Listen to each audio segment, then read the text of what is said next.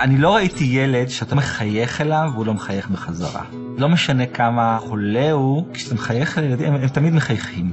אני עובד בכללית כמעט 20 שנה. עבדתי במיון בשניידר, במיון בבלינסון, בטיפול נמרץ בשניידר, הייתי אח האחראי, וכיום אני מרכז את נושא ההחייאה והטראומה בשניידר. אני זה שדואג שהציוד יהיה זמין, הצוות יוכשר ברמה מתאימה. החייאה זה לא דבר שקורה כל יום, אבל כשזה קורה, הכל חייב להתנהל by the book. הרבה שואלים אותי איך אתה יכול לעבוד עם ילדים.